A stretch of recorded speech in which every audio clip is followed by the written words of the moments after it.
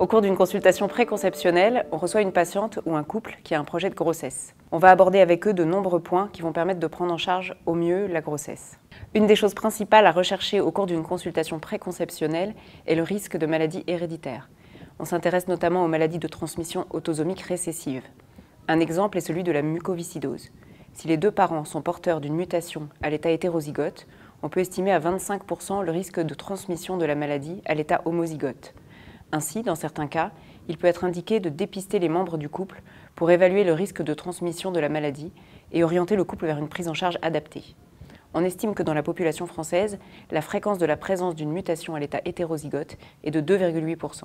Un autre exemple de pathologie à transmission autosomique récessive est la drépanocytose. La fréquence de l'état hétérozygote est de 10 à 25% dans les populations originaires des Antilles ou d'Afrique subsaharienne. Ensuite, nous allons aborder le groupe sanguin des deux conjoints en raison du risque d'alloimmunisation anti-D si la patiente est de résus négatif et le conjoint de résus positif. C'est la seule situation d'incompatibilité.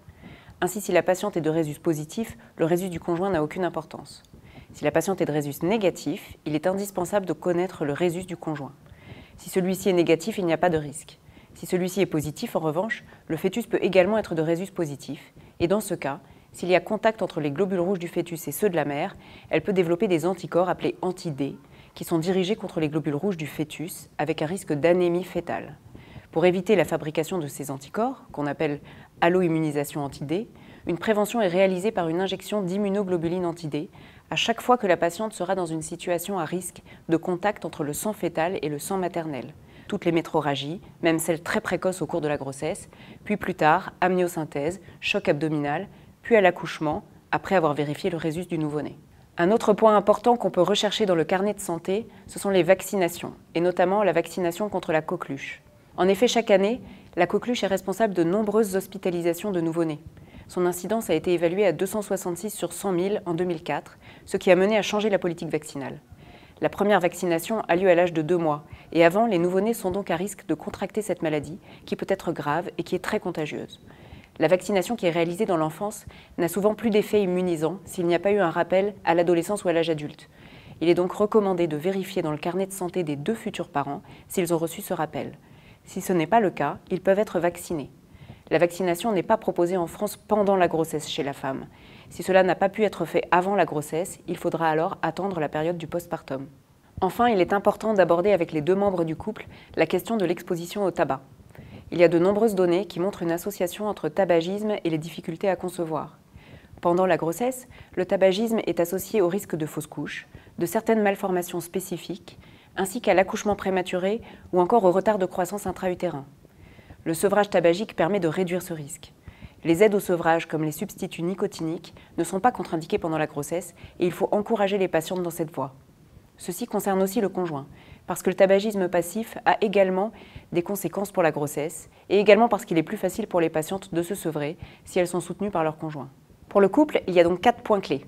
La recherche de maladies héréditaires transmissibles au fœtus et qui peuvent nécessiter des examens génétiques chez les parents, puis éventuellement au cours de la grossesse chez le fœtus le groupe sanguin et la prévention de l'alloimmunisation anti-D, les vaccinations et notamment la vaccination contre la coqueluche pour éviter la transmission au nouveau-né, les risques liés au tabagisme pendant la grossesse et la possibilité de bénéficier d'une aide au sevrage tabagique. Il y a d'autres points à aborder qui concernent plus spécialement la patiente. Nous allons parler de ses antécédents médicaux personnels et familiaux. Ceux-ci peuvent avoir plusieurs types de conséquences. Certains traitements, qui sont donnés pour des maladies particulières, peuvent être contre-indiqués au cours de la grossesse, car ils sont tératogènes c'est-à-dire qu'ils peuvent provoquer des malformations, ou encore être phétotoxiques, c'est-à-dire entraîner des conséquences sur le fœtus, même quand la période d'embryogénèse est terminée. Un exemple de ceci est le traitement par dépakine, utilisé très largement comme traitement de l'épilepsie, et qui a montré depuis qu'il était associé à des malformations et des troubles du développement. Celui-ci ne doit plus être donné chez des patientes ayant un désir de grossesse, voire même chez les patientes en âge de procréer la consultation préconceptionnelle est le moment idéal pour changer le traitement en concertation avec le spécialiste qui traite cette pathologie. Pour certaines pathologies, il y a un traitement spécifique à mettre en place dès le début de la grossesse. Je pense notamment au syndrome des antiphospholipides. Dans ce syndrome, pour éviter les complications obstétricales caractéristiques du syndrome, comme la prééclampsie ou le retard de croissance intra-utérin, les patientes doivent être traitées dès le début de la grossesse par aspirine à faible dose et héparine de bas poids moléculaire.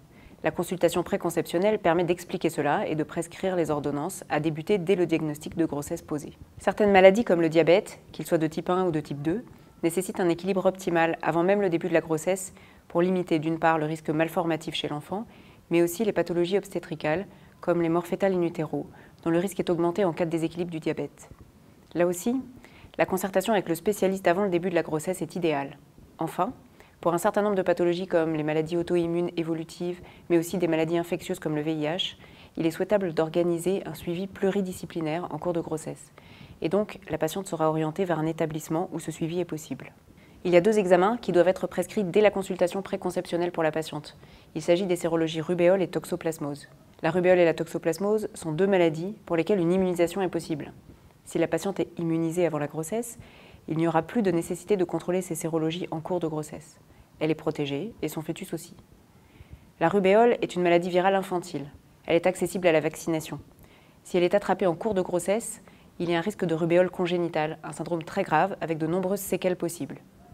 Pour éviter cela, il est possible et conseillé de vacciner les patientes avant toute grossesse si elles ne sont pas immunisées. Comme il s'agit d'un vaccin vivant atténué, il est contre-indiqué pendant la grossesse en revanche. Pour la toxoplasmose, il n'existe pas de vaccin. Ce parasite est également à risque fœtal, avec un risque de toxoplasmose congénitale si la maladie est contractée pendant la grossesse. Il y a un seul médicament qui est indiqué systématiquement au début de la grossesse. L'acide folique, ou vitamine B9, aussi appelée folate, est indiqué pendant la période d'embryogénèse, car il permet de diminuer le risque de survenue de malformations fœtales. Les malformations concernées sont les anomalies de fermeture du tube neural. Il a montré son efficacité dans des études, et c'est un enjeu de santé publique de réussir à faire en sorte qu'il soit effectivement prescrit. La dose recommandée est de 0,4 mg par jour en population générale et de 5 mg par jour pour les femmes diabétiques ou celles ayant un antécédent de fœtus atteint de ce type de malformation. Au contraire, il existe de nombreux médicaments qui ne doivent pas être pris pendant la grossesse, dont certains sont en vente libre. Les anti-inflammatoires non stéroïdiens sont un exemple d'automédication fréquente. Or, ils ont un effet phétotoxique et il est important de sensibiliser les femmes qui souhaitent une grossesse aux problèmes qu'ils peuvent représenter. Dès le projet de grossesse, il faut arrêter les médicaments en autoprescription et informer son médecin du projet de grossesse. Il faut également éviter la consommation d'alcool. Le syndrome d'alcoolisme fœtal est un ensemble de troubles neurologiques et de malformations liées à la prise d'alcool pendant la grossesse. Il n'y a pas de seuil connu en dessous duquel on peut affirmer que le risque est nul. C'est pour cela que toute consommation d'alcool est déconseillée dès que le diagnostic de grossesse est posé.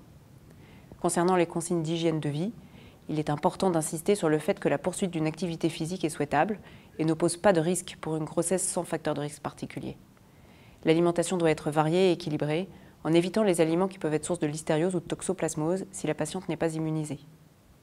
Voici les ordonnances qui seront donc prescrites pour le couple, à adapter en fonction de ce qui est déjà fait ou connu. Une prise de sang pour la détermination du groupe, la vaccination contre la coqueluche, une prise de sang pour les sérologies rubéole et toxoplasmose et la prescription d'acide folique. On fera ensuite sortir le conjoint en général pour le moment de l'examen clinique et aussi pour pouvoir s'entretenir avec la patiente. Pour l'examen clinique, on réalisera une prise de la pression artérielle, une auscultation cardiaque et pulmonaire, une mesure du poids et de la taille, puis l'examen gynécologique, qui comprendra l'examen des seins, l'examen du col au spéculum et le toucher vaginal, ainsi que le frottis cervico-vaginal si celui-ci est indiqué. Le moment où le conjoint n'est plus avec vous est aussi un moment important pour aborder avec la patiente le sujet des violences, quelles qu'elles soient, dont la femme peut être victime, ainsi que des antécédents psychologiques ou psychiatriques. C'est la fin de la consultation préconceptionnelle. Elle vous a permis de rechercher une affection transmissible au sein du couple, de rechercher des antécédents personnels ou familiaux qui pourraient avoir une incidence sur le déroulement de la grossesse, de faire le point sur les vaccinations, coqueluche pour les deux parents et rubéole pour la femme, d'expliquer et de dépister les situations à risque d'alloimmunisation résus, de délivrer des messages d'hygiène et de prévention, pas d'automédication, éviter le tabagisme et la consommation d'alcool enfin de prescrire de l'acide folique pour la prévention des malformations fœtales.